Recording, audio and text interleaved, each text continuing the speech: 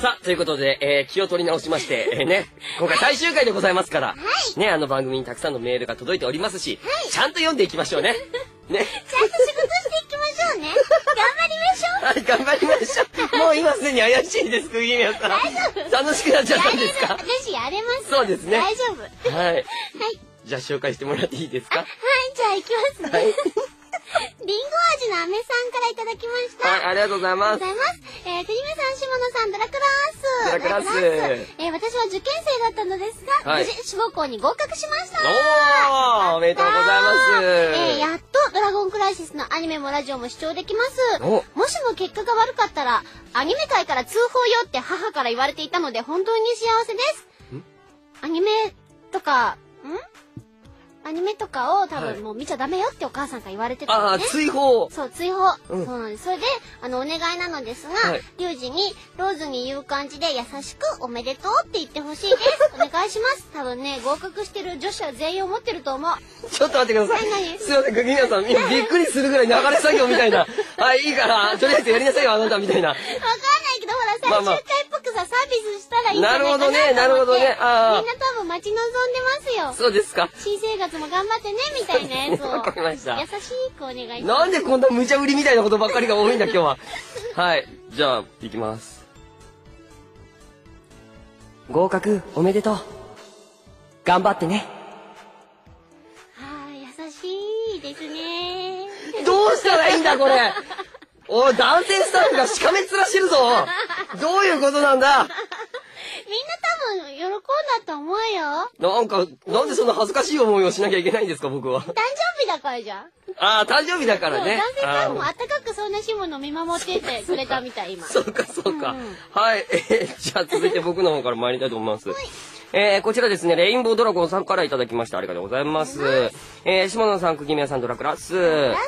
あったかくなってきましたが、それと同時に学校が始まります。あ、4月の頭のメールだったんですね。えー自分は3年生になりますが2年間とても早かったです。楽しいことがあると時間を忘れてしまいますね。お二人は最近時間が経つのが早かったなと思ったのはいつですか？おー、僕時間が経つのが早い。僕は今日ですね。今日？だから要するにあのうんドラクラのラジオ、なるあほどっという間だった気がしますね、本当に。そうかもそうだね。もう笑ってたらあっという間に終わっちゃったみたいなね。さっきも言いましたけど。なんか事だね。楽しい仕事笑ってるだけみたいな。楽しい仕事、まあ笑ってるだけじゃないですよ。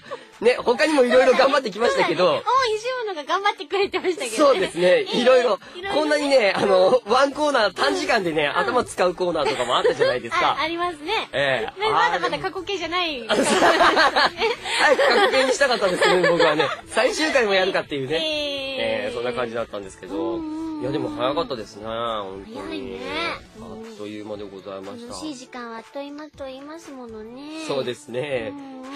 何ですか？いや、なんでも、一言ではないですよ、藤宮さいや、いや、私も、あの、本当にあっという間だったなって思ってたから、うんええん。えまたね、え。はい。なんか、何ですか？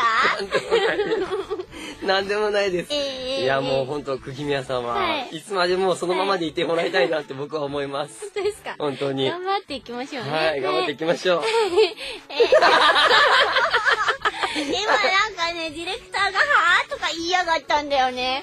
なんかいつもはド M のくせにさ、本当に妙に上から来て、になんやねんみたいな。なんかたまに変態気質を本当そうそう醸し出すっていうかね。出してくるからねうん若干こっちが引き気味になるのをなんとかね、愛想笑いでなんとかしてやってたのに、そう、こういうにいい感じにしようとしたのにかかわらず、はぁってどういうことなんだろうな。ああ、頑張ってきたでしょ待ってますよそうですよ。はい、じゃあ次、はいえっ、と、いきますね。はいはいえっ、と、ヘタレでごめんなさいさんからいただきました。大丈夫、そんなことない。お、シモンさん、クミエさん、ドラクラスドラクラスえ、4月です。春です。寒いです。おさて、そんなことはさておき、下野さんに相談です。はい。まあ、自分には彼女がいるのですが、うんキャラで言うと、うんクーデレ、クールデレなのですが、はいはいクーとデレが8対2、彼女の事象ね、はいはいと、なかなか出れてくれず毒舌多い人です。もうすぐ5ヶ月ですが、手をつなぐだけで他は何もありません。てかさせてくれません。泣き。ちょっと不満です。そんな彼女をうまく出れさせるアドバイスをください。お願いします。はい。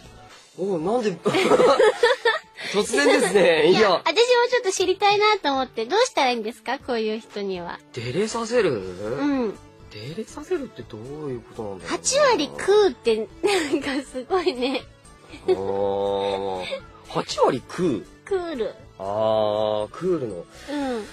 そうですなすすごい、なかなか意志の強い彼女だね。そうですね、うん。なんだろういろんなサプライズをとりあえず友達から聞いてみて徹底的にやってみるってどうでしょう？すごい。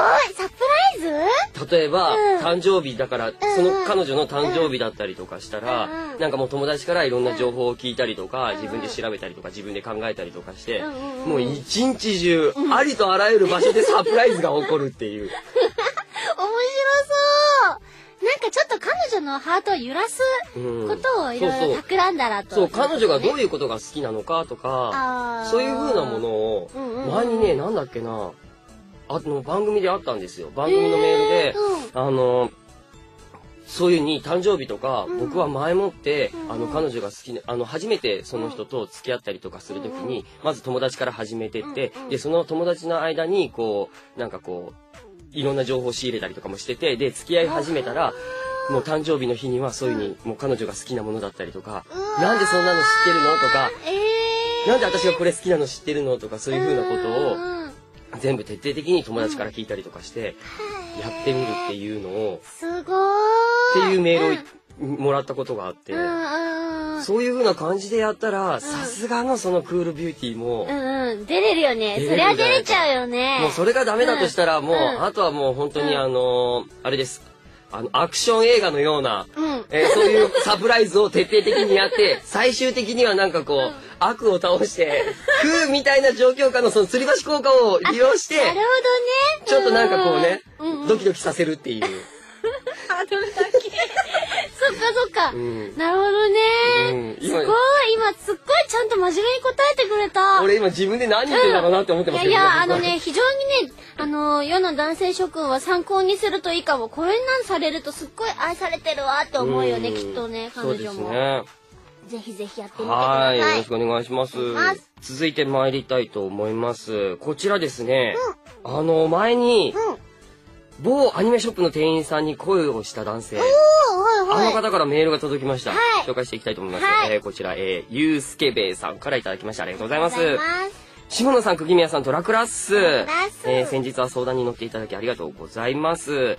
えー例の報告があり、今回はメールしました。はい。えー手紙を渡し告白しようと某アニメショップに行きました。レジに行くと例の店員の、えー例の店員さん一人だけ、えーレジにいて、他にお客さんがいなく、レジをしてもらうことに成功しました。レジが終わり、帰り際に手紙を財布から取り出し渡しましたが、手紙を少し、えー見てから、ごめんなさいと言われて返されてしまいました。その時の僕は死にそうなぐらい恥ずかしかったです。僕は手紙を。僕は手紙を渡して仕事終わりに待ち合わせ場所に来てもらい直接告白しようと思ったんですができませんでした、えーこのラジオをね、えーその店員さんが聞いていることを信じて告白しようと思います。うん K さんが好きでした。先日は仕事中にご迷惑をおかけしてすみませんでした。今までありがとうございました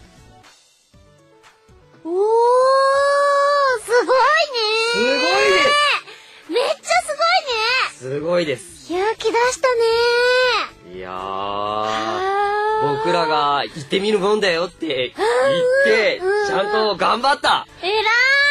素晴らしい本す当に。いやちょっと感動しましたねこれ。ねえ、報告もしてくれてありがとうございます。りがとうございます。すごいガッツだね。ね。うん。いやでもここでこういう風にちゃんとはっきり告白ができたっていうことはうん。また次うん新しい恋をした時にもうん。ちゃんと告白ができる。うん、そして。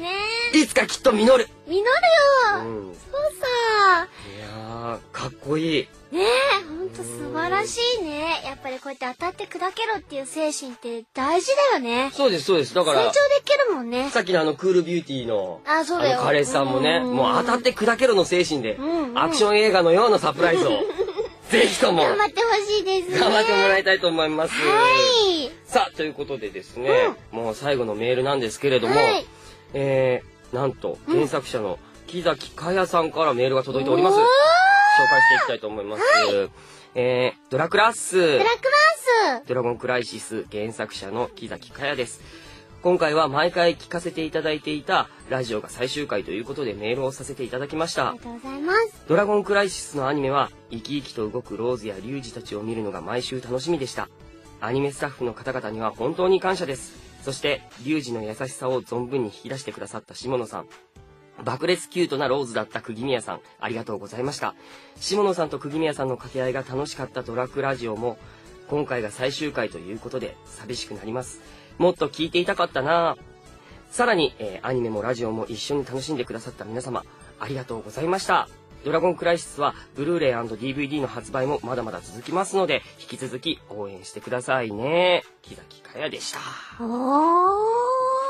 ありがとうございました。ありがとうございま忙しい中わざわざお手紙をいただいちゃって、嬉しいですね本。当にありがたいです。うん。ね、先生とかも聞いてくださったりとか、原作イラストの赤田樹先生とか、他のスタッフさんも本当にあの楽しく聞いてくださってるみたいでね。ね本当に終わってしまうのがもったいないなと思うんねですけれどもそうなのね。ね。